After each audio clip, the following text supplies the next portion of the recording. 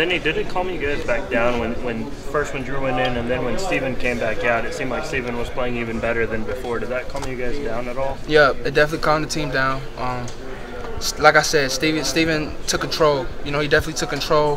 He let us know that everything was okay. We need to just, we need to just, you know, calm down and play football like we like we do, and that, that's what we did towards the end. How do you feel now? Great. As far as your ribs, Um, you know, it's bruised. Um, you know, they gave me medicine. I got a little pain, a little bit. I'm ready for South Carolina. What, what is it about Stephen that calms you down? is it just his demeanor or the way? Stephen, Stephen's just a calm. He's a calm dude. He's a calm guy. Um, he's he's very smart. You know, he, he lets he lets you know when, when you're missing something. You know, if there's a cutback that I, that I'm in, he'll let me know, and he just makes the, the overall offense better.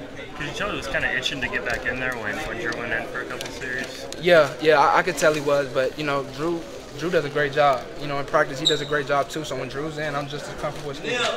there's a substitution in almost any other position. It's not a big deal. Quarterback comes in, fans start going, "What the hell's going on?" Did you guys know this was going to happen, uh, unfold that way? Uh, no, we didn't. We didn't know it was gonna happen, but we always know the next guy's gonna step up. And like I said before, Drew does a great job in practice. So when he steps up, uh, I'm just as calm and comfortable as Stephen.